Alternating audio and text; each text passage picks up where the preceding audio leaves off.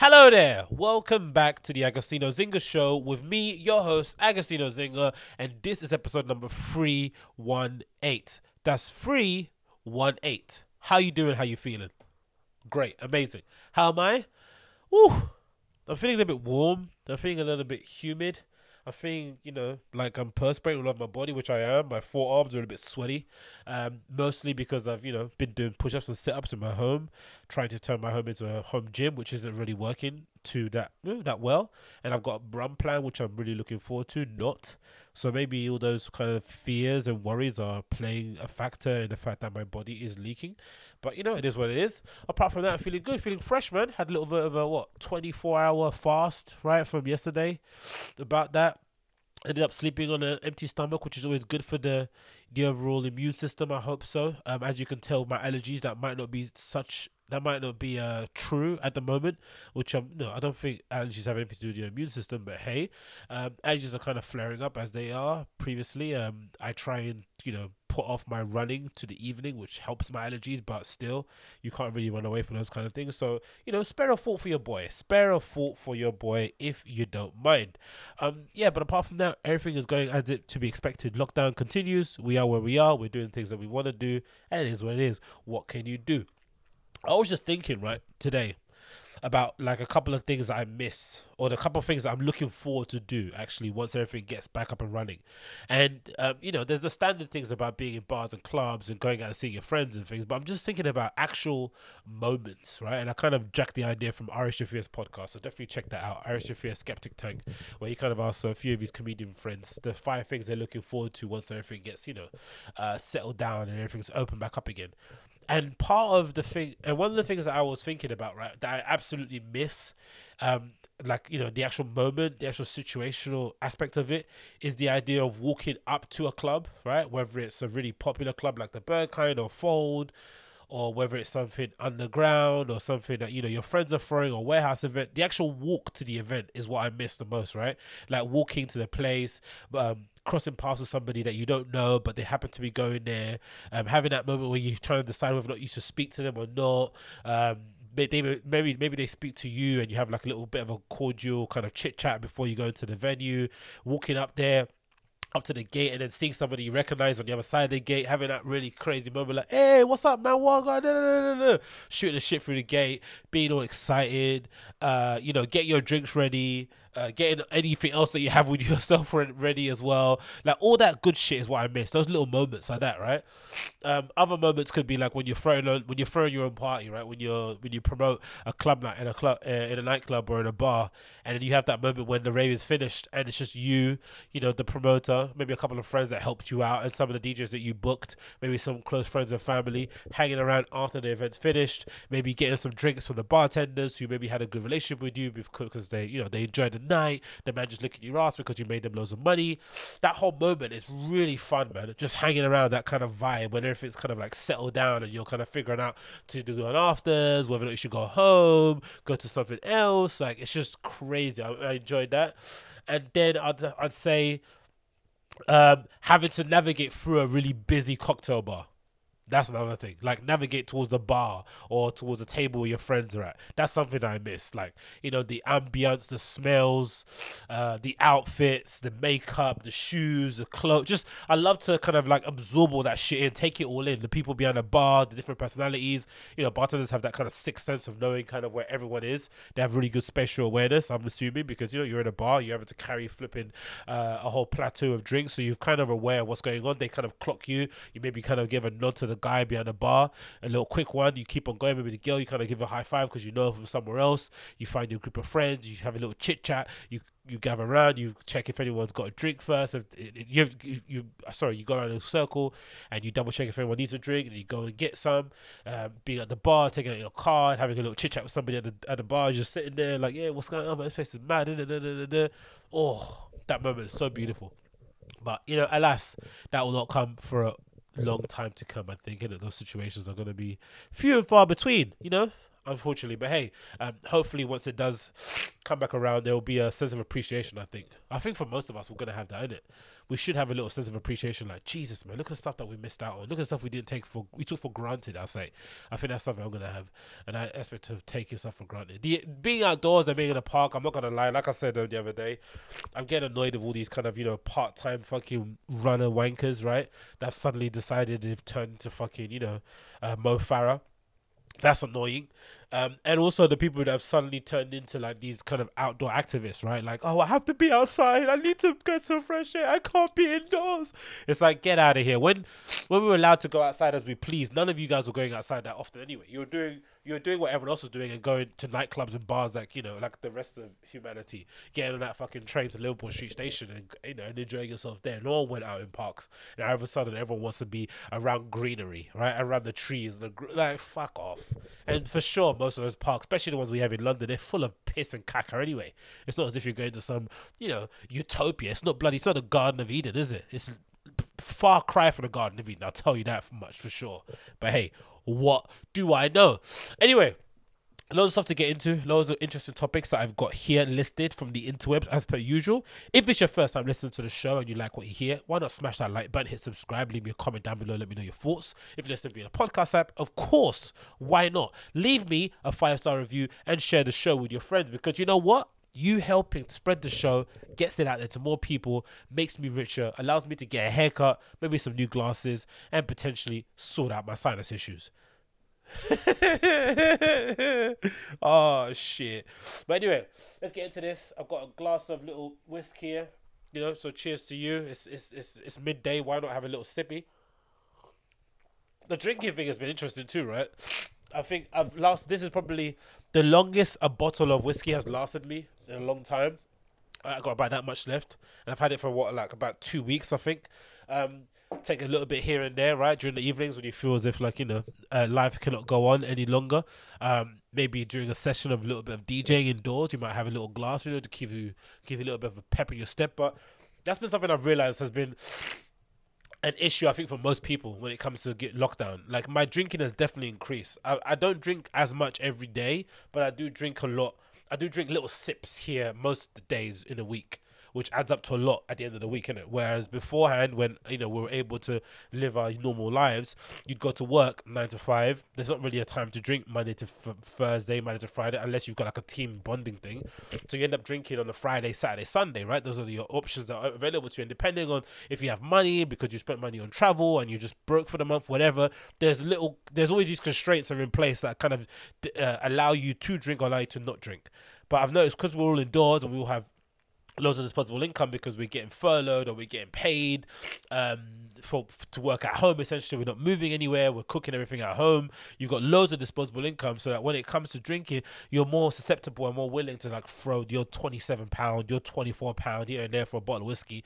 And then because it's you know you don't want to have a hangover every day, you're having little sips, which means you have like a whole bevy of liquor in your cupboard that you can hold on to. And you know, I would love to have a little bit more drinks actually in my home, but I know for sure number one, I don't have the, the room for it. I would actually have. I actually like to have a little bar.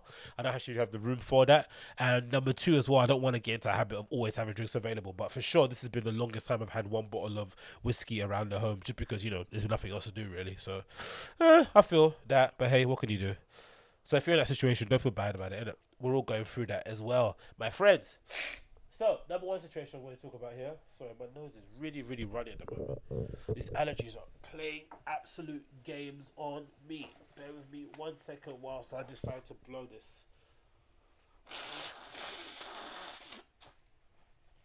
This is the main reason why I try my best not to go out running in the morning or I try and go out running before sunset, before yes sunrise, and try and go running uh, when it's sunset or after sunset because my energies tend to like not flare up as much in the evenings. But it's annoying because then you end up going to bed really knackered and tight and tense and shit. So, you know, double edged sword, what can you do? So moving on in, I thought I'd talk about quickly um, this video of the Cybertruck featured on Jay Leno's show, which is going to be previewed, I think, tomorrow, Wednesday. That is right. Um, it's just fantastic to see the Cybertruck in real life. I think that's maybe. Let's take it for a reason I drive. wanted to speak about Don't this. mind me, I'm just driving Elon Musk around in Tesla's new Cybertruck. on. Oh, I've got two windows open, I think, at the moment. So, yeah, this is Jay Leno talking about the Cybertruck um, on his program. And we get some really rare insight. Well, we get some really rare views of what it looks like on the interior because we didn't get to see a lot of those pictures. I think some people that were at the event might have took some interior pictures. I didn't see many flowing around. Um, we still haven't seen a lot of the kind of truck bed itself, right? Because at the back there's sort of like a bit where you can put stuff in it, like a pickup truck. We haven't seen much of that detail. I think someone mentioned that um, there's rules or regulations around having uh, wing mirrors as well, so they're gonna have to install those maybe sooner or later. There might be some adjustments they're making size, which you mentioned in terms of fitting into regular garages. But by the by, it's just incredible to see this car in the wild because I think the beauty of uh the beauty of what um, Elon Musk is doing with Tesla or the beauty what he's doing with SpaceX in general is that he's somehow been able to take this because I remember, cause I remember when I was studying product design at Central St Martins right? Part of the reason why I went to that course or part of the reason why I applied is um, because I used to watch this. Um, oh, what they fucking called? See, I had to watch this TV show on Channel Four called with a. It was a documentary sort of like TV series based around this design consultancy called Seymour and Powell, and they used to they made like some really amazing products. They did some stuff with Dyson. They did some amazing airplane seats, like really crazy, amazing industrial design studio. And it got me inspired to do that kind of thing. But I also like the aspect of like you know specking up these concepts. But part of the reason why I got a bit disillusioned with the industry because usually they'd kind of have a you know they'd have a client like Boeing coming could want to basically redesign the seats for their new plane and it go it it go from like iteration the iteration of the initial concept would go for this amazing really futuristic looking chair that was ergonomic and made out of one piece material was manufactured in a certain way used these really amazing bio uh, biodegradable materials really all these really crazy advances. But then by the time it came to production it looked like a regular chair because they had to make so many adjustments in terms of making it cost effective. And it just you know the the entire bureaucracy of getting stuff produced at a mass level required them to take away some of the fun and some of the uh, juice that came from the initial concept design. And I think that's what Elon Musk has done really well with Tesla. He's somehow been able to take the idea of concept cars and make them production ready, right? So the stuff that you see presented on the showroom, the stuff you see presented during a you know uh, a conference or during some kind of showcase, his stuff that you're gonna be able to buy yourself with your own hard-earned money, and that's something that you never ever see from most car manufacturers. It's always just these amazing cars uh, concept shows, um, these amazing car concepts showing at these car shows that you can't necessarily get your hands on, but they are gonna take certain elements of the technology in that car and apply it to the manufacturing model, whether it's the lights or the seating or the way the engine starts. But the actual form factor of the car is completely changed. It goes completely mundane, and I think he speaks about it a little bit here in this clip. But it's really incredible to see. Let's take it for a drive.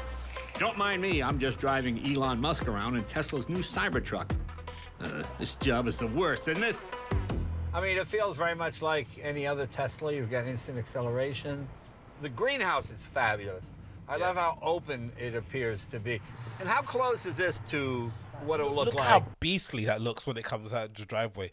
It just looks insane. And the, the funny thing about this car, I think someone mentioned it in the comments that it's probably the same sort of like um f- bed size or the same sort of overall dimension to like a Ford F one fifty.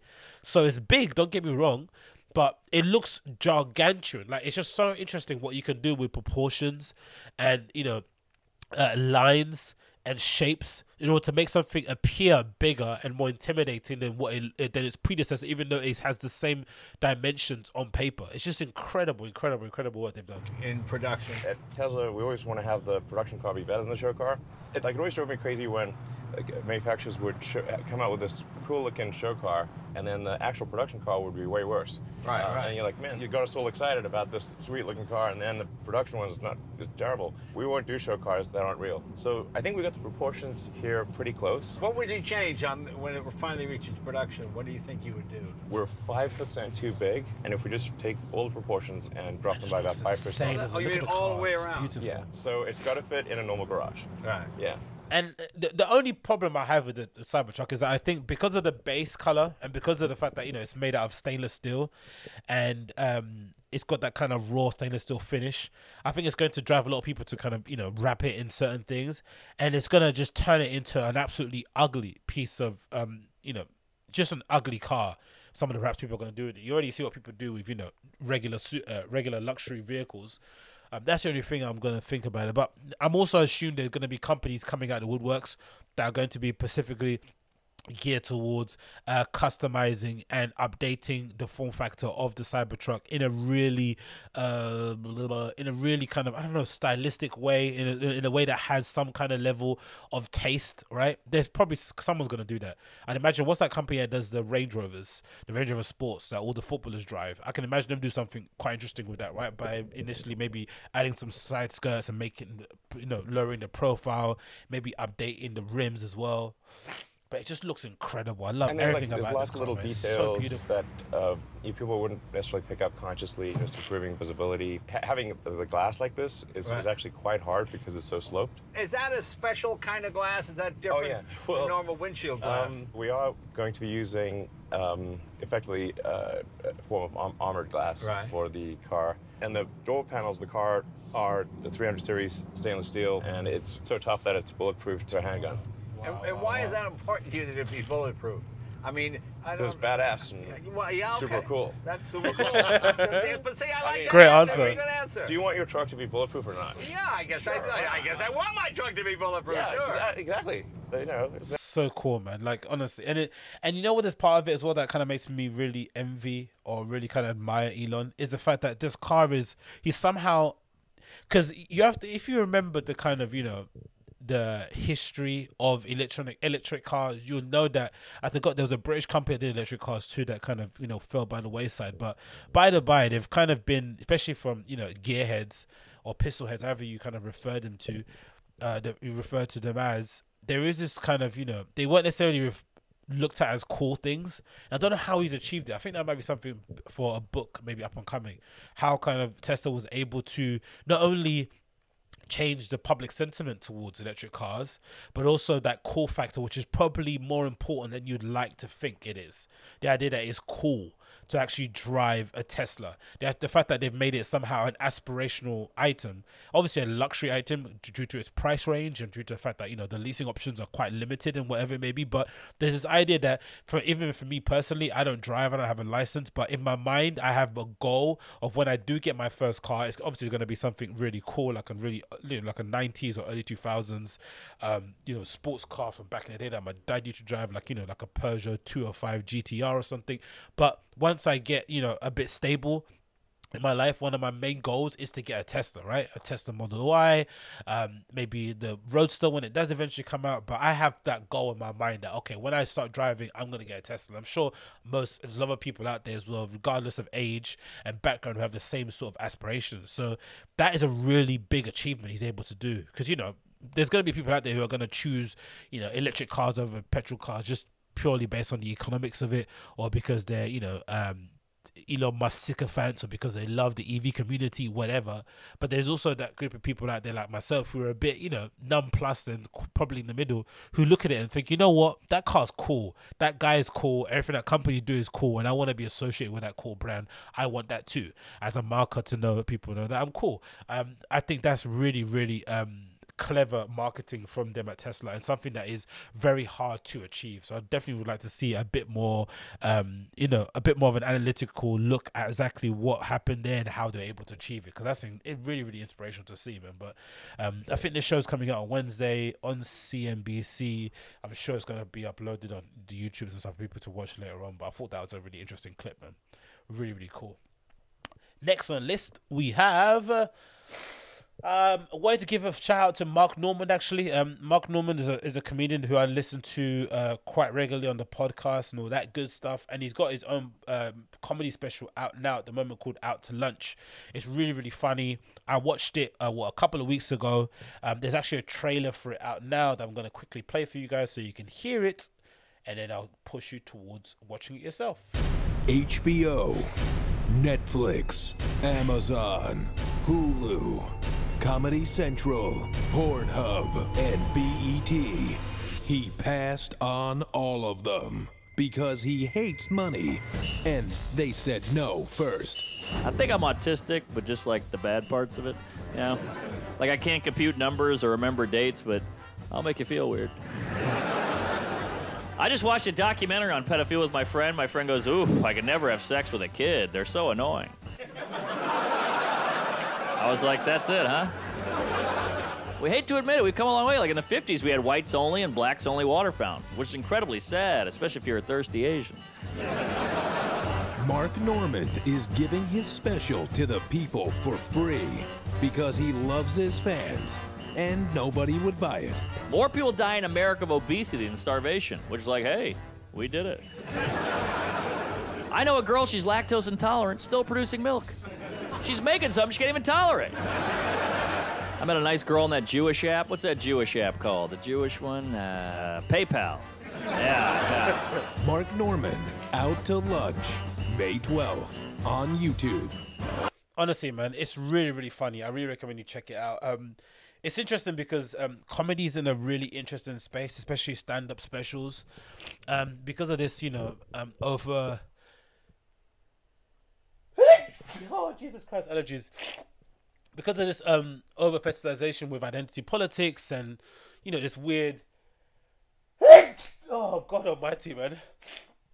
Honestly, honestly, honestly, taking these allergy tablets is the worst thing in the world. It seems like it kind of has a moment for like the first 20 minutes where it sort of like spikes your allergy um, symptoms, then it kind of levels out. But hey, Mamma Mia, um, God bless summer, innit? I love summer. Not. Oh, God Almighty. Okay, so comedy's in a weird place at the moment. due to um, identity politics and SJWs and all that sort of good stuff. So there's this weird, it feels like undercurrent where the industry is sort of like push gearing it, steering away from. oh God Almighty, sorry. Feels like the industry is steering away from promoting or kind of showcasing, you know, um, quote unquote cis white males and you know for maybe kind of uh, giving a platform to marginalized people who don't necessarily have a voice in Hollywood.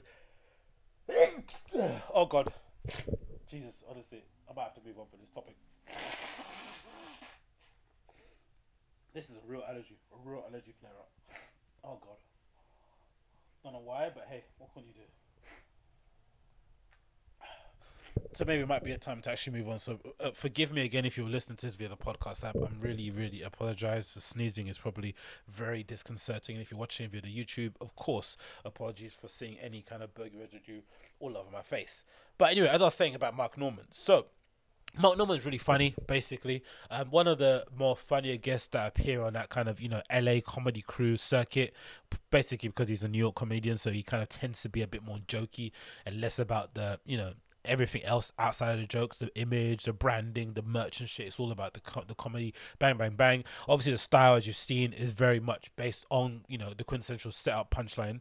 Um, there isn't there there are some stories interweaved here and there, but for the most part, it's just him going on there and just kind of weaving together this narrative of these stories that basically fit into his templates of how he does jokes. So really clean, really well done, very well produced. I like the fact that he put it onto YouTube. I think there should be more of a drive for comedians to do so. I know a lot of them kind of want to have the validation from the industry to have a special on the big networks. I understand it, but I think now in the climate that we're in now, considering COVID and lockdown, and considering the you know the um the prevalence of podcasts within the communities within the comedy circuit, it's only natural. It's only it only makes sense for you to allow the same people kind of consume your content for free on YouTube and these platforms or podcasts to still have the option to view some of your stand-up special on the interwebs as well for free. If they want to then pay for it later on on another platform, fair be. Uh, if you know, you know, if you, fair dues if you want to do so, but there, there, I think you should be able to kind of close a loop in that regard and do it that way, especially one or two. I think you know comedians could probably get away with probably doing an hour special every two years, maybe a couple of thirty minutes every year, and maybe the thirty minute special you just throw up for free on the on the interwebs. That would be a probably a pretty good way to go about doing things, I think, going forward. But by the by, again, one of my favorite comedians um on the in, in the industry in the scene, really really funny guy. Give him a follow if you haven't already, and check out his stand up special called Out for Lunch, available now. Next on list here we have. Holy shit, this is amazing. Oh, this is a really cool little gadget invention that Costa Coffee is run is rolling out. I guess in all their locations, um, uh, due to yeah, because they're reopening. I think in the UK. So this is a really clever idea. So essentially, you got this kind of little uh, video from Costa Coffee. It says our new drive-through shelves have been getting lots of love. Um, who's seen these in action?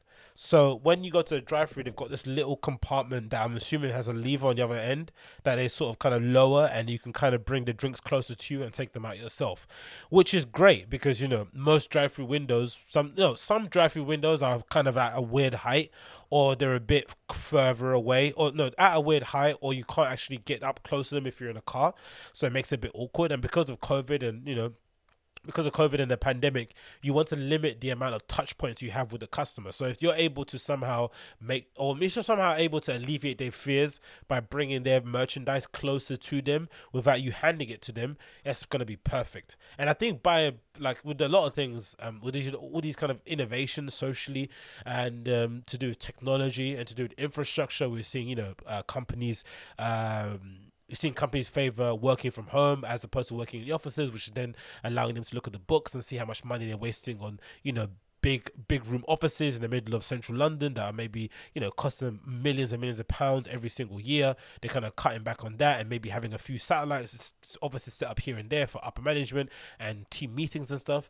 I'm also thinking that these sort of innovations were inevitable, but they're kind of being rushed because of COVID. They're kind of being rushed forward because of COVID and the pandemic. It sort of has to kind of you have to innovate in order to kind of get us back to some level of normality. But I think going forward, this is something that's going to have to be uh, kept in place anyway, regardless. So it should be an issue. And as well, I think the idea of protecting the workers in, some aspect too is really um, important as well in these sort of service industry jobs. But I'd like to see a lot more companies uh, adopt the same sort of tech, whether it's you know uh, McDonald's, a Burger King, wherever fast food joint that you kind of go to have the same sort of option as well. That'd be pretty cool to see um, going forward. But yeah, a great little invention by Costa. I'd like to see how it kind of gets implemented.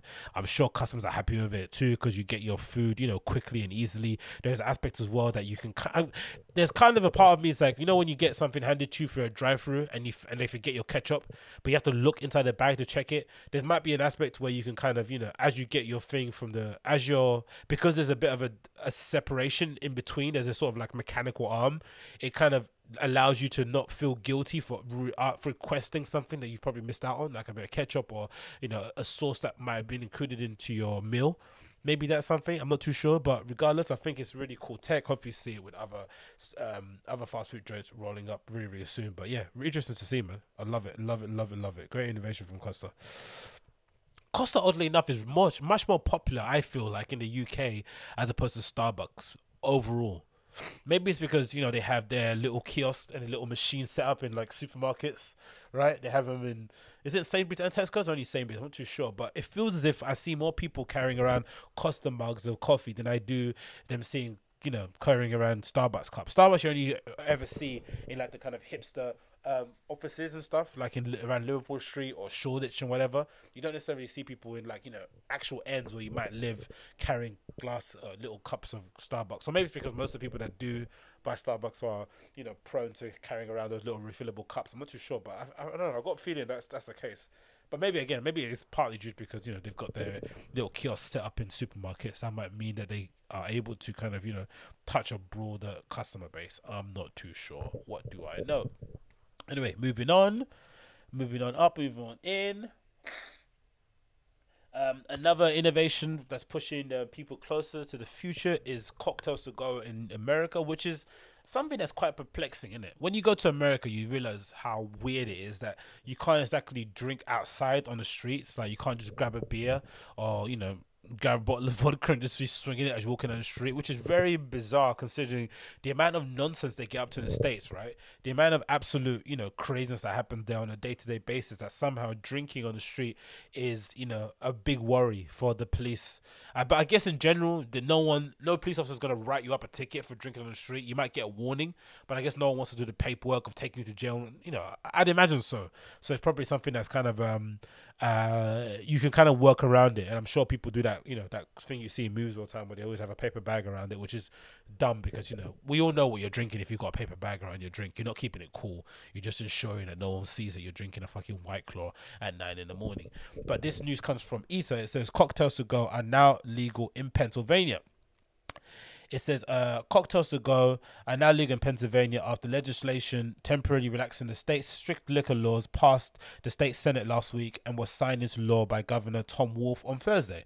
This major change for a state that only started to allow grocery stores to sell beer a few years ago is effectively immediately. Restaurants with the right permit can already sell beer, wine for takeout, which again, you know, is something that kind of came about because of COVID. A little silver lining. It's allowing some restaurants that probably couldn't get away with because I don't. But that's part of me that doesn't think.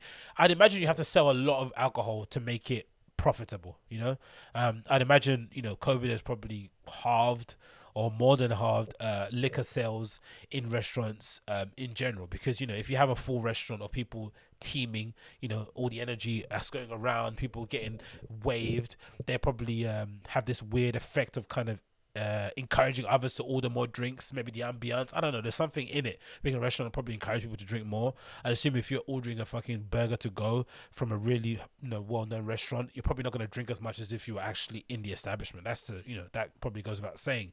But the ability to add on a little bit of an add-on sale with the alcohol is probably something that they probably you know are not taking for granted at all if you're in a restaurant industry in America. And again, something that would probably had to have been you know implemented um, further down the line. But again, COVID has sort of like rush these things into effect.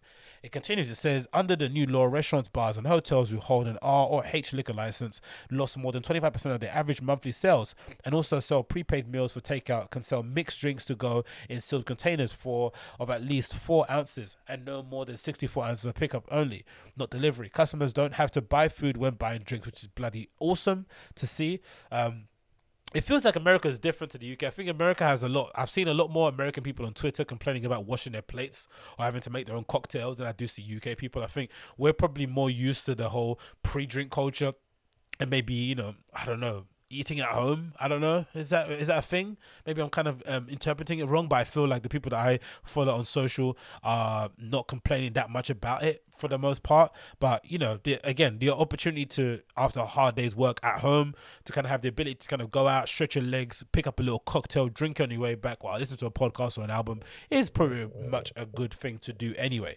And especially if you think about it going forward, if we end up going living in a world where um, remote offices are the thing, right, where we're all working kind of um, from remote offices or working from home, it probably is advantageous to put people to have these habits set in place or to have these procedures or to have these kind of um, protocols in place where you can go to a restaurant and pick up a cocktail without feeling like you have to sit down or obliged to eat something and keep it moving. Because I think that's a good thing, right? It's kind of rewiring people's brains to be able to kind of entertain yourself in that regard, maybe a little bit to be to be able to kind of make those uh, things fun. Because there was a time when you know, remember that Instagram account, uh, Table for One, and people were like, you know, kind of taking the piss out of people that went out and sort of like, you know, had something to eat on their own. Now more so than ever, I'd imagine if you especially living in a household in a shared household, you'll probably will see a lot more people going out on their own once out on their own when stuff opens up, just so they can get away from their housemates. So it won't be that much of a taboo anymore. So maybe having these little, maybe practicing these, you know, pickups and restaurants being able to, you know, figure out what kind of works and maybe having some after work specials, some payday specials, some Friday specials that are kind of geared towards that kind of worker is a great way to go about things. And maybe is going to be advantageous for an industry or the industry itself going forward, isn't it? Who knows? Um, the drinks must be mixed on the premises. There must be combined, uh, must be a combo of spirits and mixers, which means bars who want to sell a martini need to add a splash of olive juice to gin and vermouth to stay within the letter of the law. Um, it's interesting because this means that you know those guys selling uh, nutcrackers in the state in New York. That's going to be a legal thing now. Do you think nutcracker sales have gone up? I wonder if they have. Nutcrackers are like, um, I think they featured it on Vice once, where they sort of like mix all these little fruit juices and different cheap uh, liquors into a punch, essentially, really colorful punches, and they usually freeze them and then bring them up to, you know, and then put them in kind of, you know, uh, freeze boxes like Yeti boxes and shit, and sling them at the, in the street corner or a basketball court, wherever kind of people are gathered around, and they get people super waved, because um, obviously, you know, they don't necessarily measure the amount of alcohol they put in them. So imagine if if nutcrackers became like a thing like moonshine, like local moonshine people kind of setting up little uh breweries or something, you know, or cocktail stands in there. I'm sure that's happening. I'm sure that's happening within little rural communities or just communities in general um, within the states. I'm pretty sure.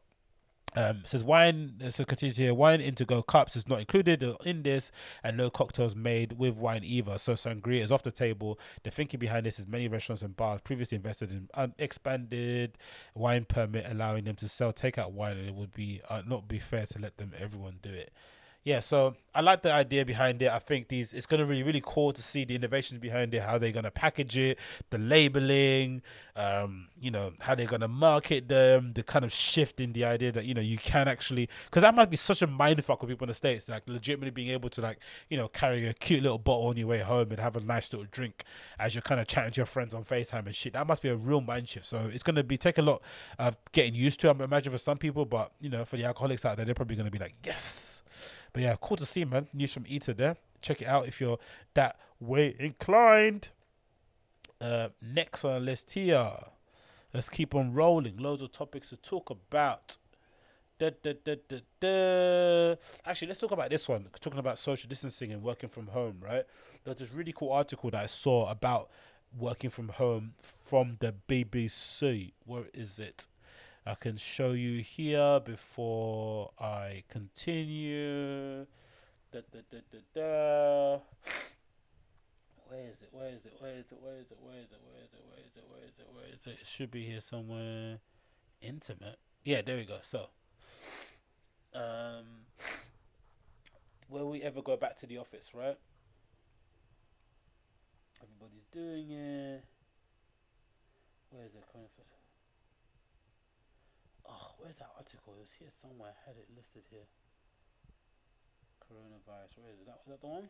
Yeah. What's the future? So let's copy that one. Let's get that down there. Ba, ba, ba.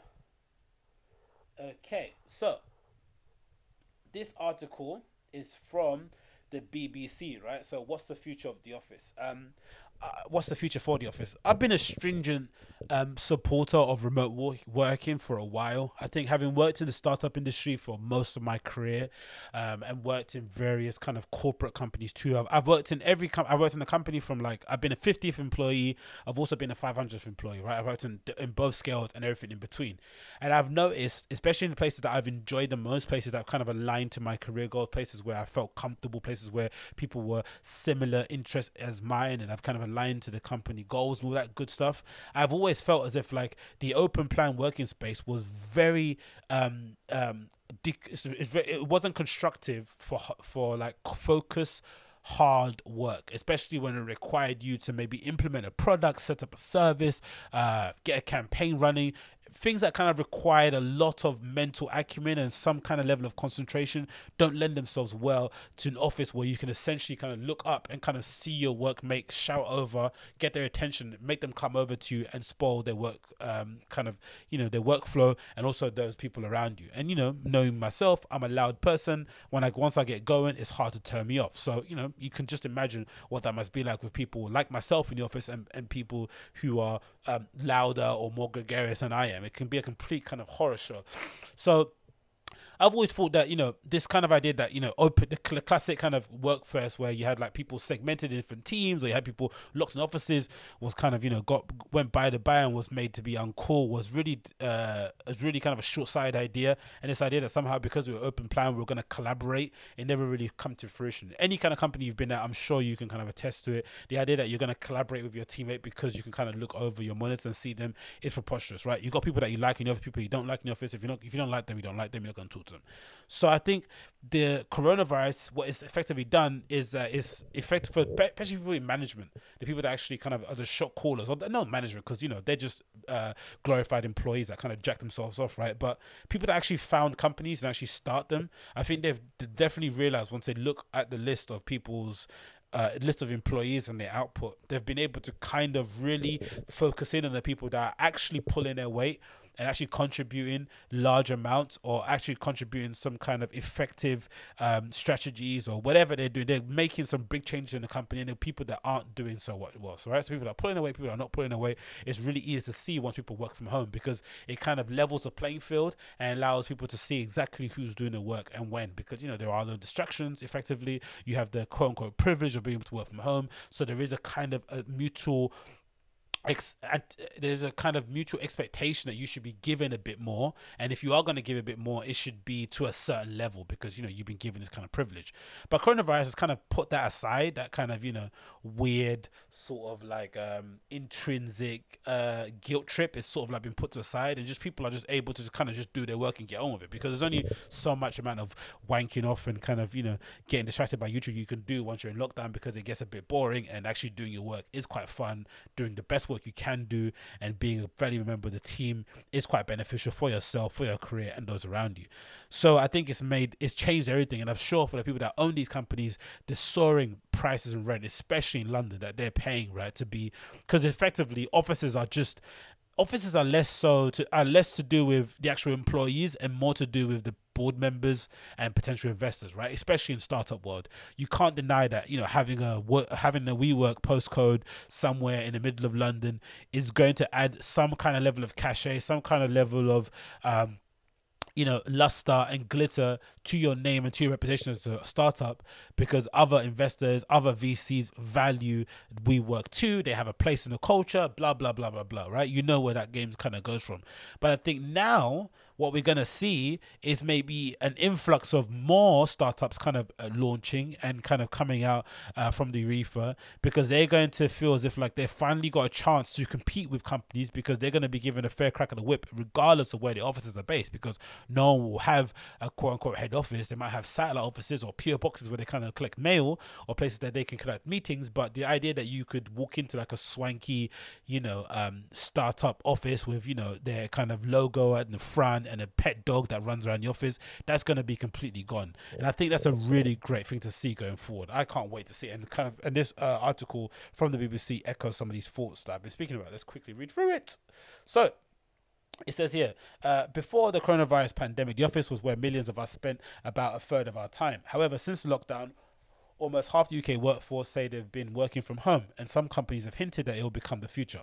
Here's a quote. It says the notion of putting 7,000 people in a building may be a thing of the past, said the boss of Barclays, while Morgan Stanley's chief said the bank will have much less real estate. Businessman Sir Mar- Martin Sorrell said that they'd rather invest the 35 million he spent on expensive offices in people instead, which is insane to think that they were doing it anyway and thought it was a good idea. And it also goes to show just how uh, bandwagony and uh, copycat the business industry is. At the moment one person does something and it works, or the moment the industry kind of changes tact, everyone follows suit and everyone kind of rabbits the same chorus, the same kind of explanation. Money saving, better for our workforce, improving the culture. It's all gobbledygook, right? They're only doing it, of course, because of the pandemic. But some of the more forward-thinking companies are already, especially some of the people that have people that are actually operating on a high level, or uh, maybe roles that require people to concentrate for long periods of time, would allow those key individuals to maybe work from home more so. Because there's there have been some companies where I've been had a more of a flexible working schedule. Maybe they'd maybe uh,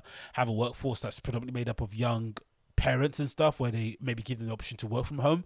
But mostly the companies I've worked for, working from home has been seen like a privilege. Like if you get allowed to work from home, it means you're a real teacher's pet. It means you're a real bootlicker. It means that you you know the kind of person that comes in at eight and leaves at eight p.m. Right? You've got no life. Your whole life kind of revolves around your work and what you do for your boss and your managers and shit. Which you know is by the by, do what you want to do. But you know I don't want to be friends with that kind of person. But this culture shift now, which allows everybody, even the person that turns up exactly on time and leaves exactly on time, is going to be great for the morale of the team in general, and it's also going to be great because it's going to allow owners as well just to really identify who is actually making changes company, who's actually pulling their weight and actually doing the work instead of kind of this idea that because you stay behind until 8 p.m. it must mean you're hard worker. No, you might be doing jack shit. You might be just talking with your friends or on your phone or kind of, you know, resharing uh, nonsense articles on the feed. It does, anyway, continues. It says the game is up for the office as we know it, uh, suggests Bruce Daisley, uh, who is author of Joy of Work. It says, unfortunately, we might get misty eyed about it, but I think the office is um, in the form of it used to be is probably now a thing of the past. I was chatting to someone who works at a major media outlet last week, and he said he used to have 1,400 people coming into his office every day. For the last eight weeks, he had 30 people, and the product hasn't changed. He said anyone who thinks things are going to go back to the way they are is bananas, which is definitely true. You just can't justify. And of course that's a big bank right? Saying 53 million. I don't uh, uh, 35 million sorry i don't think most companies spend that but you have to imagine just by what you know take into effect try and think about the closest friend you have who lives in london who has a really nice apartment and think about what they pay and then think about what it must be like to rent uh, an office space somewhere in near that where that person lives. It's just insane. And then the you know and then internet and utility bills and all that shit like oh insane. Um, it continues here. It says, um, but the current end of the office is not clear cut, says uh, Professor Andre Spicer from City University Cass Business School. He predicts a radical decrease in the amount of time people spend in the office, but says off- office work will not be over for good. One reason he suggests is that home workers uh, tend to not get promoted as quickly as they tend to be overlooked. Eh, that's not really, that's true, but if your whole workforce is working from home, they're going to have to implement some kind of pr- procedures that can allow people to get promotions you know whether it's kind of quarterly reviews year reviews that give people an, an opportunity to kind of you know say their piece put their hat in the ring for an, uh, for a, uh, a vacancy that comes up maybe an inter- maybe an internal hiring um, system. There's going to be things they're going to put in place but i don't think if everyone's working from home it's going to affect you because you're the only one that's turned up to the office because there's a lot of people especially in the companies i've worked in if you have a work from home option the people that take the piss out of it the most are usually the managers, right? Your line manager is usually the one that you know they kind of sort off the most. It's usually the underlings, the kind of you know the employees, the quote unquote the the people on the front line who actually have to kind of you know bite the bullet and come in most of the time during Christmas and everyone's kind of fucking off. They're the ones that really get um, fucked up the ass with all that shit. I don't really think it really affects the people that are actually at the top if you really think about it. Um, so I don't think that idea they're gonna be able to promotion is gonna be a thing. And also I think there's an aspect of if you are gonna work from home there's an opportunity for you to maybe change the way the office environment actually works. You can still have an option. You can still have the possibility of making it maybe mandatory or making it up or making it encouraged for people to come in, uh, you know, the end of the month for like a company all hands on a Friday, and then it turns a company all hands into a really joyous occasion because people are going to have the opportunity to see their friends again from the office, right? Connect, catch up about stuff that they spoke about on Slack. Um, they're going to be encouraged to maybe share things that they've been working on at home, and they're going to want to show and tell. Like, imagine how fun those things are going to be. Usually, they're really annoying because you spend half you spend most of the week at work trying to get work done. Everyone's distracting you. Then when the all hands comes around you're like oh i don't have time to do the stuff that i was going to do. And you're kind of um you're kind of annoyed that you're having to like you know sit around with your colleagues and listen to the manager talk about the goals of the company. But if you actually have time to work at your at your craft do your job when it comes to the all hands you're going to be over the moon that you're going to have an opportunity to show off some of the work you've been doing behind the scenes. You're going to love it. Um so it continues. It says here, particularly in times of economic crisis, people will start thinking, "I want to be in your workplace. The boss needs to see me." Nah. Uh, again, it all, always has to come from a professor, isn't it? People that are not actually have skin in the game, who are not practitioners, people are just kind of you know critics and commentators from the outside, always have these kind of reservations. But the people actually working in the industry, people that have actually have jobs in these startups, who have worked in these corporate companies, you know that most of the times, especially if you're having to travel a far distance, you have to go to like you know the other side of London, you're having to pay for travel cards to pass through certain zones or bus tickets or you're having to kind of you know have a 40 50 minute bike ride that requires you to change and shower when you get to work. You're going to be over the moon that you have the opportunity to work primarily from home with the option to go to the office when need be uh, it continues. It says uh, Professor Spicer suggests offices will remain as hubs where senior management are, are based. I don't agree because senior management I think take the piss and will go home all the time. He says with employees traveling in once a week to meet with their bosses, that seems to be a similar to Twitter's plan, allowing staff to work from home forever. It says here, um, home working is not new. It's been uh, upped in recent decades, and many companies have already been trying to save money on rent by hiring co-working spaces. That's not really a, a good idea though, because co-working spaces are usually located in premium locations, um, and they usually come with a lot of kind of added-on benefits, such as you know a fully stocked com- communal area with tea and coffee and shit that always gets added onto your monthly rent. You know, utilities already set up, um, plugs, uh, chairs, all that good shit is already built in, so it's a kind of a tax you get added onto into it, and the fact that you've got a really advantageous postcode. So the fact that you think you're going to be able to pay less there is really a misnomer. You pay for the kind of uh, brand uh, uh, brand alignment, right? You want to be in a building surrounded by companies that are similar to yours, like right? Those building, I forgot there's a building in Shoreditch like that where there's loads of financial kind of companies uh, that work here fintech companies, right? And they all kind of situate in the same building. You kind of want that alignment. So that's mostly what people do. Um, so um, how they affect us, as many of us have already discovered, some of the perks or the problems of working from home. Some are obvious, no commute, less chance to socialize with colleagues, but others go to the heart of identity quote. It says, "I think we should uh, all howl at well, we're uh, howl at what we're losing." Says Lucy Kellaway, who has written a book, uh, both fiction and non-fiction, about offices. I think the most important thing about office is it gives more, it gives some sort of meaning to what we do. Most of what we do to our laptops, let's face it, is pretty much meaningless. The best way of thinking there's uh, some point of it is having other people who are sitting around you. Yeah, but I don't think that's a good idea. I think if anything, COVID lockdown has taught us what's meaningful is your friends and family, being able to touch feel, hug, uh, speak to, and hang around people that you care care about for real is what the world should be about more so. All these kind of like fake surface level work friendships that you kind of cultivate because you have no one else to talk to or because you spend all your time in the office isn't healthy. It's not good for your mental, right? You need to have that separation of being able to go into work, uh, do your job, and also go home and uh, connect with your family and friends and not feel like, you know, every kind of conversation you have with your family and friends revolves around the people that you work with. That is not a life worth living. I think this um, separation is going to be for the better. It's going to increase and really it's gonna really it's gonna really separate the friendships that you have and also kind of it's gonna bring you're gonna see the benefits of having work colleagues as friends when you meet them you know every week to do an all hands or to have like a company meeting or to do the stand up whatever it may be. And you're gonna have the benefit of unplugging and pulling out and seeing your friends during the week and catching up with drinks. I think those are two perfect things but the idea that you're somehow losing your identity because you're not connected with your friends is ridiculous. You shouldn't your work shouldn't be your identity anyway. Your identity should be the things that you do for your friends and family and your community not the work that you do the money that you you know the money you made to kind of keep the lights on. That's ridiculous. There's only a certain group of people, a small segment of the population that are maybe working in a vocation that they've kind of longed and loved to do since they were a kid. Fair enough, but for the most part, where most of us are working in companies or in jobs that we could give a shit about, but we do it because you know we want to be a, a valuable member of society. We want to kind of contribute to the household bills. We want to support our family, keep a roof over our heads, pay for our holidays, all that good shit. And companies are willing to kind of give that exchange, right? They give you money, you give them time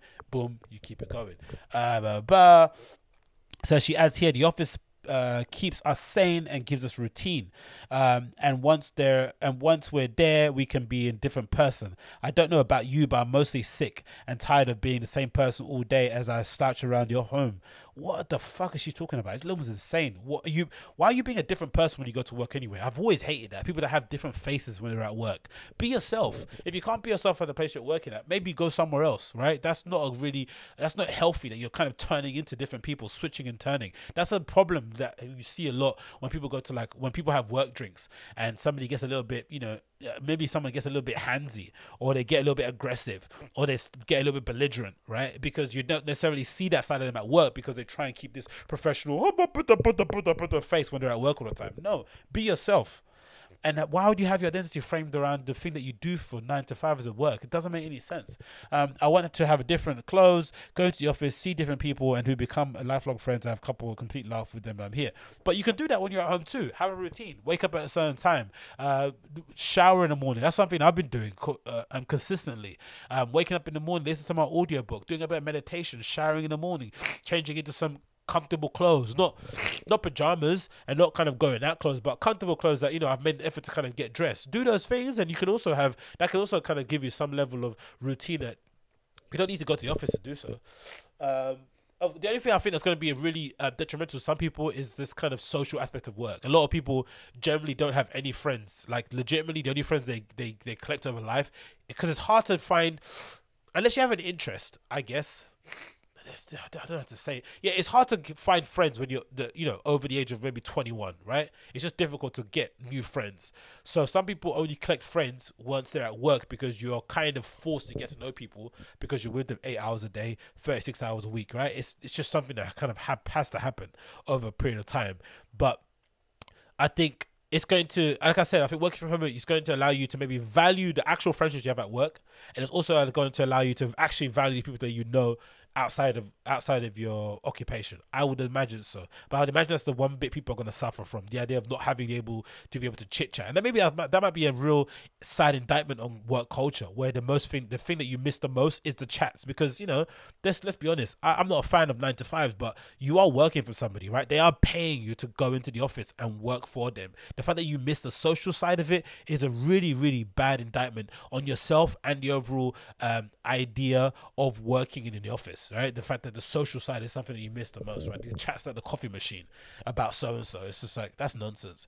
It says here, Professor Spicer says attitudes. No studies show that people who work from home are more productive and happier, especially without the commute. And one of the big factors that make people unhappy. But among the downsides, she cites one study showing home workers feel that they are in exile. Yeah, that's because it's before no dude, these studies are only based on old. Again, these this is what I mean about this is due to lockdown thing. These studies are based on the old reality that we had, the reality of pre or prior, uh, you know, post. Um, not post uh, prior to COVID, right? Now we're in post. Well, now we're living in a post-COVID world. It's different because we're all going to be working from home. So this idea that you're missing out, this idea that people are getting one up on you because they're turning up in the office at eight and leaving at eight, at 8 p.m. It's not going to be exist anymore because we're all working from home. Um, it continues, uh, catching their boss's eye becomes their job, and it's their desire to be seen as doing stuff. And when you're not, you become a bit worried and paranoid. Yeah, that's a general working workplace thing, but I think that's going to be replaced. Actual doers and actual practitioners are going to be rewarded more so than people that actually, you know, lick their asses and you know, bootlickers and all those kind of things are going to be put by the wayside because your numbers and the kind of stats and the things that you pull in are going to be there in black and white. You're going to not going to be able to banter and kind of fob. Have you seen people in- sometimes in team meetings who don't really haven't really done the work and they kind of fluff and you know talk a lot of bullshit during team meetings and kind of just you know make a couple of jokes so they can get out of kind of being drilled down on what they actually did. This is gonna do do away with it because the numbers are gonna be there. You can't lie anymore. Um, it says here, homeworkers discuss the benefits. Let's see what they have to say.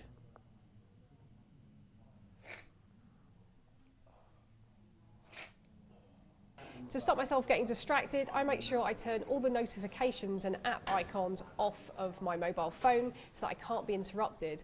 I tend to go into those applications when I'm ready to take those messages.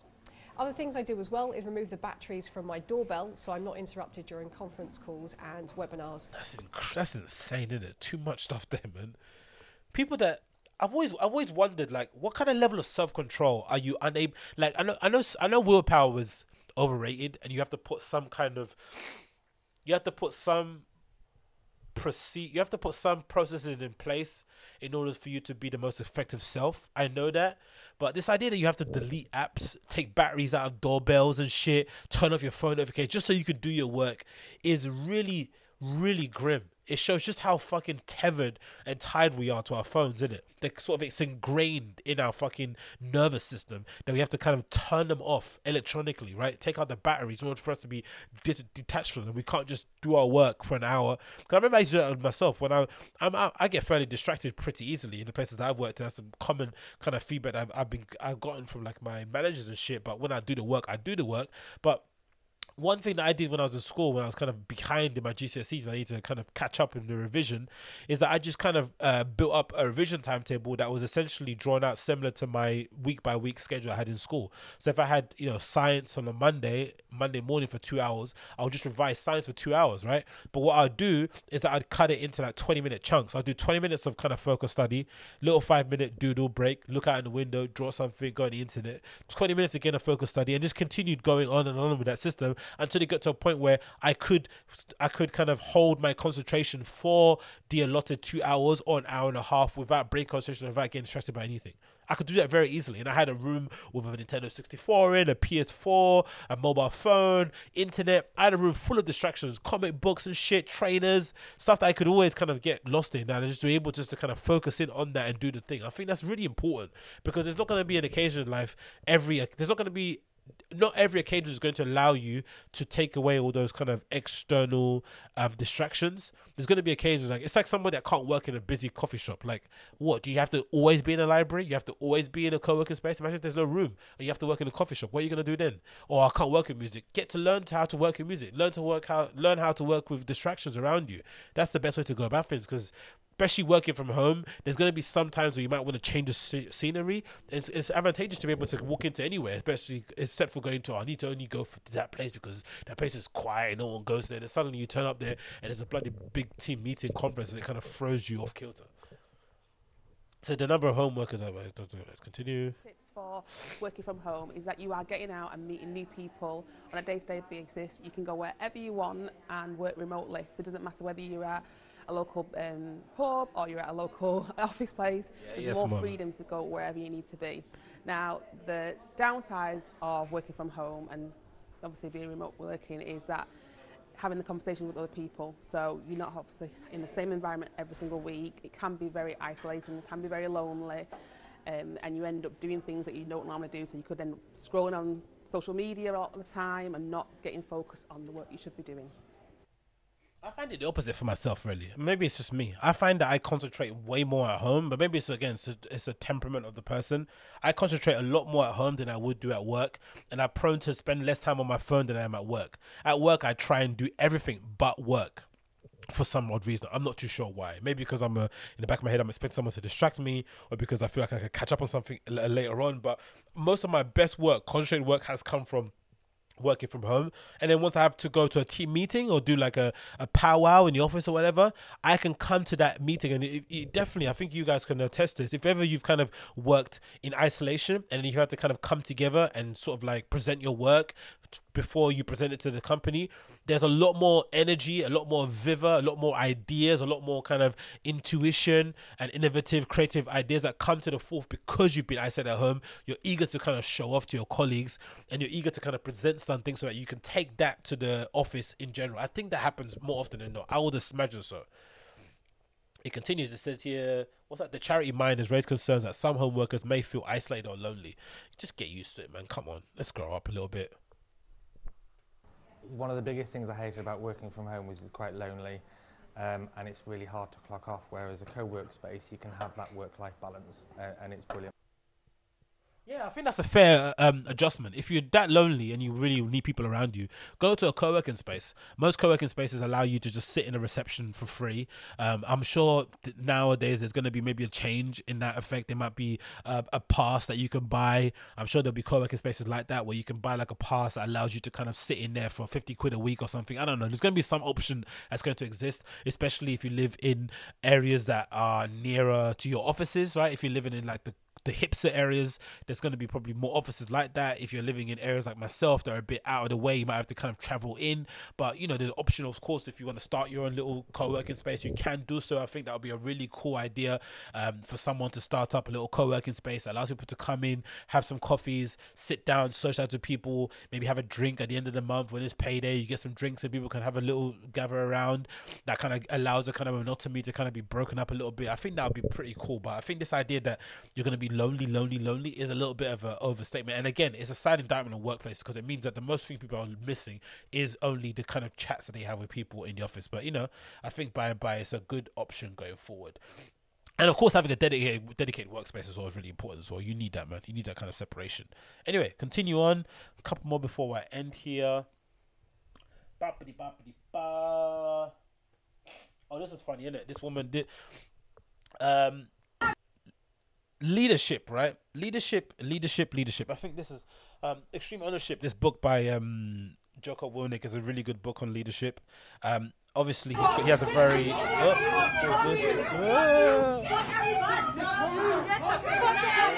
There we go. Um, so this book by Jocko Willink behind me called Extreme Ownership. He has a very particular view on leadership. Obviously, coming from the SEAL team, um, they they very much favor this idea of hierarchy, this idea of operational command. That's how things get done. You know, being able, being in charge of you know a platoon of people, you have to have some kind of processes in place that allow you know the rule of law to kind of come from the top and it to be actioned by people at the bottom. But there's also this idea and this concept that you can also feed up some feed. You can also feed back some insights to the people at the top, and they can kind of disseminate that information as they need be. But the most important thing is the people at the top, the actual leaders, they take extreme ownership. Everything that goes wrong with the company goes right with the company is usually a, a reflection of the leaders you have in your in your startup or your company you work for. Every company I've been at that's been amazing has usually come from the company culture that's created by the person at the top. Every company I've been at that's kind of shitty has usually come from the frictions that exist the people at the top as well. I think we can all attest to that same sort of findings in any workplace that you've been at. And part of me thinks that this COVID thing has seen leaders been able to lock things down, right? Lockdown has been implemented very well across the board. They locked things down. People stayed away from people, you know, locked pubs and social gathering places, so you couldn't go out. You stayed indoors. You obeyed. But then when it comes to reopening the economy, or when it comes to kind of um, enacting some good practices when you go out socially, people are a little. Um, the government are a little bit shitty in that regard, right? They don't really take. They're not taking owners ownership, and they're not taking responsibility. Uh, case in point, Dominic Cummings, you know, to take going on a 260 mile round trip and having no sense of responsibility of how that looks. The optics of it are really bad. The fact that he set a bad precedent, it doesn't necessarily register him, right? He are allowed to kind of ask, request the public for one thing, but then do the complete opposite in your own life because you, you're given that kind of lead, you're given that kind of leeway because you're in charge, but then you're not recognizing that you're essentially eroding the kind of collective agreement by doing that thing on your own and you're not kind of abiding by the group rules. So in place of that, people having to police themselves, which is really dangerous, right? Because you get this that's where vigilantes vigilantism comes from, right? Or being a vigilante comes from, that kind of guys. Because if the rule of law isn't being agreed, isn't being agreed upon by the collective and the people above are not enforcing it, then we're gonna have to somehow police ourselves. That's how mafias are born, that's how vigilantes are kind of birthed. And what you're seeing in this video here from New York is a very much an explanation of that. This incredible video somewhere in New York where um, halls of shoppers are essentially screaming at this person because they're refusing to wear a mask in a shopping center or in a shop in a shop somewhere. I imagine part of the reasons because um, most shops in the US have implemented this uh, this uh, policy that if you want to shop you have to wear a mask so there is this kind of accepted notion that in order to shop you need to have a face mask on regardless if you don't want to wear on outside in your day-to-day life if you want to come into a building of any sort you have to wear a face mask. Um, and some people obviously have turned it into a political issue. They've kind of seen um, wearing a face mask as a, as a, not wearing a face mask as a constitutional right. It's against their freedoms. If they want to die they can die blah blah blah blah but it's it gets really slippery. And this is the problem with not having leaders that are accountable for that take responsibility for their actions or to lead from the front is you get people then succumbing to this which looks just crazy on in all counts for the person that comes into the shop without a mask on and mouths off and to the people that are kind of hounding them out in a Salem witch trial sort of fashion. It's really scary.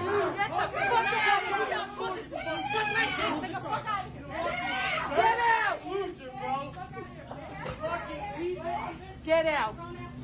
the woman in the chair at the end. Get out I'm pretty sure the you know it's sad to say, but I'm pretty sure in this lady's you know in this lady's case, being that way and having to ride on a mo- ride a mobility, mobility scooter, the last you know the last thing you should be worried about is people not wearing a mask. You probably should be concentrating on your diet and your you know exercise regime, of course. But it's just funny hearing her voice in the background.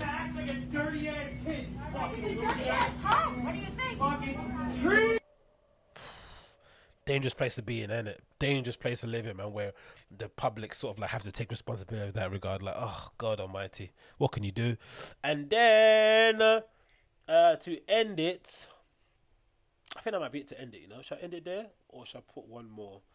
Um, oh, let's do one more. Jordan one neutral grays. Let's add a bit of streetwear. I think I'm gonna add every podcast episode do one element of streetwear and culture because I am the number one culture and streetwear podcast in the world, uh, as voted by the Streetwear and Culture National Board of Adjudicators. Okay, anyway, so this is news from Hypebeast for all you Jordan 1 fans, people that like to wear those Ease Bravado jeans, Vlone jeans, jeans with little diamond tees in it, people that like to wear um, chrome heart stuff and all that malarkey, people that like to wear needles, flannels, and you know, all that stuff, you're gonna be happy with these shoes because those are the only people that see wearing these kind of trainers, isn't it? Um, they've sort of like bring them back from the dead. But this news from Hypebeast says the Jordan One High 85 neutral grey is rumored to make a return. Now I remember these shoes popping up mostly during, you know, from the influencers online who kind of, you know, wear that sort of garb. I'm assuming like the Ian Connors, the Lucas Sabbats, and all those kind of people, and the kids that wear those flared jeans and wear those ripped jeans, the East Bravado jeans I mentioned earlier. They kind of made this a thing. Um, which is cool to see because I remember there was an era when you know um, what's his name, uh, Don C and Kanye and all those guys were kind of at the forefront to kind of wearing you know retro Jordans and bringing that whole thing back, and it was really uh, prided upon to have crumbly Jordans, right? So you could kind of flex, you could wear it once and be like posting a picture on Instagram, like, oh fuck, man, I didn't know that my Jordans from 25 years ago made out this material that doesn't really age well and crumbles once it catches, once it gets a bit of humidity, crumbled, right? This is that kind of image where you kind of post a picture of your soul crumbling as you walk down the streets of Manhattan. But I like I like that. I thought that was a really cool change. But of course, you know, Jordan ones have kind of got a whole life of their own since then. They've become the probably the most popular shoe outside of a Yeezy and the Dr. Martens, right? They're very, very popular. They're very much uh, widely kind of heralded amongst a certain demographic of people, and they have that weird appeal. They are able to appeal to someone like myself, who's a casual sneakerhead, right? I just wear trainers that I like. They're able to appeal to the sort of like Paris Fashion Week, um, Art Basel type of influencer guy, right? That kind of you know drinks lean and has baggy jeans, and they also apply to the quintessential streetwear sneakerhead who has no the quintessential sneakerhead Nike Talk sneakerhead who sort of like has you know four pairs of bred Jordan fours, right? Because they they like the particular style of the 2001, the 2002, the one that came with the defining moments pack, right? They have all these, they have the same color of the same shoe. Basically, based on the model of the year it came out, or they have doubles of the same Jordan because they want to keep one on ice. So that's a really effective uh, marketing uh, plan that they've kind of affected with the Jordan One. And I'd also add to the fact that I think part of the reason why they also might have a bit of a resurgence once they do come back out in this colorway is partly due to the Last Dance documentary on Netflix, uh, focusing on Jordan's um, quest to win. Was it six championships right in a row?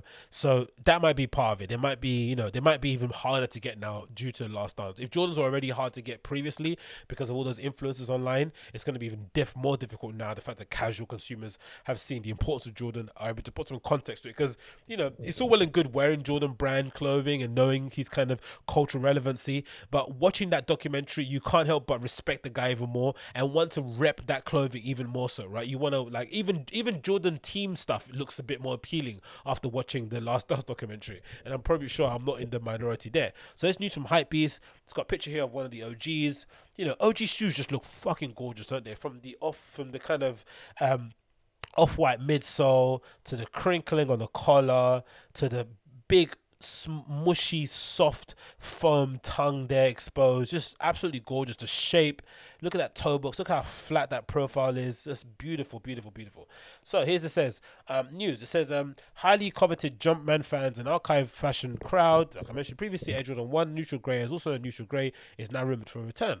After the arrival of the new beginnings pack reports are now noting that an updated version of the jordan 1 in the original white grey colorway is set to drop next year. Updated is, is the crucial part what do they mean? That hopefully they're not going to add like flywire to it or any kind of stupid materials. Just make them as they were previously. Because it would be cool if jordan i don't know why they don't do that. You know how they have like the ada superstars 80s that are sort of like uh distressed and they kind of have like a bit of a faded soul and they have a very um you know vintage inspired last and structure to them and very slim very narrow right? Harking back to the to the actual original shoe.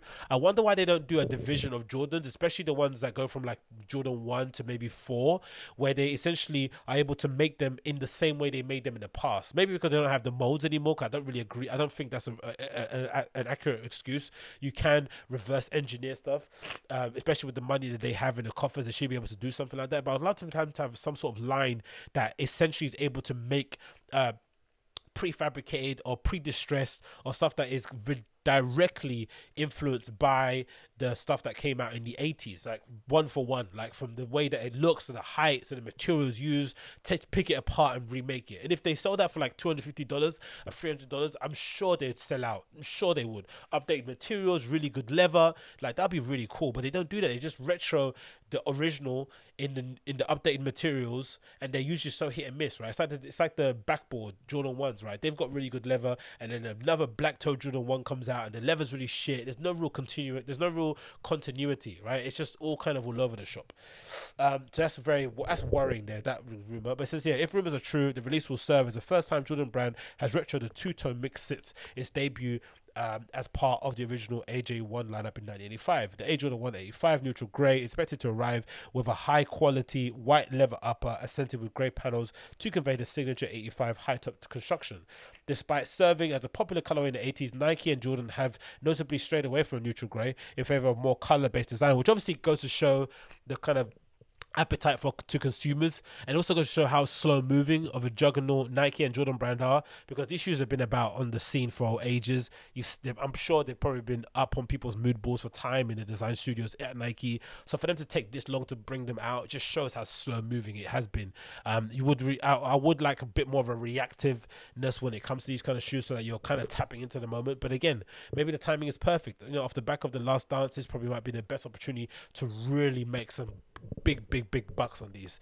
Um, it says here, despite the, the neutral grey, but as interest in vintage styling and Nike's retro has continued to grow, so has the price of neutral grey sneakers. Aside from the OG Air Jordan 85 neutral grey, fetching for almost four thousand dollars on the US resale market.